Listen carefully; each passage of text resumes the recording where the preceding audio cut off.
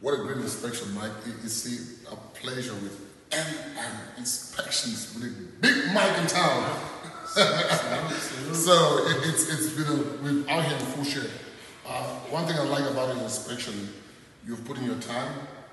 Uh, you talked about the foam insulation at the attic.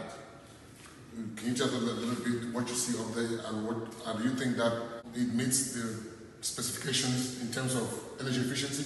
Well, yeah. So what I look for in the attic is the depth of the insulation. Uh, it's blown in insulation in the attic. Wonderful. Uh, the insulation was 12 to 14 inches in the attic, which is adequate. recommended. Correct, Wonderful. correct. And it's uh, all over the attic. Uh, other things I look for in the attic are the framing to make sure there is no unlevel areas, off kilter areas. Oh, wonderful. Uh, I look at the HVAC system in the attic In the attic.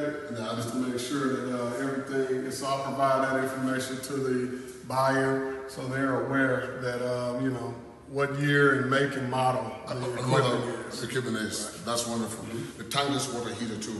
I mean, that's good, energy efficient as well. Did you see any deficiencies there on the tankless water heater? No, the tankless water heater is work just fine. With one thing you want to make sure is that the system doesn't trip and the water heater doesn't cut off. So if you're running water and it's for some reason it's not getting hot, go back and make sure that the GFCI hasn't tripped or something, and so the water heater can be reset. Because when I first started the inspection, I was like, I wasn't getting any water, Water, okay. hot water, and so I reset it, and then it started uh, running hot water to all the fixtures. So the, the GFCI is a must.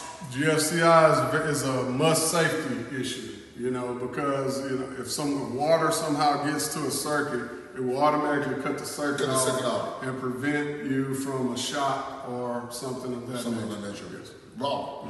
Always a pleasure, Mike. Looking forward to more. Thank you, Mr. Frank. Nice meeting you. Nice doing business with you. Thank Hope you. to do business with you again. All right.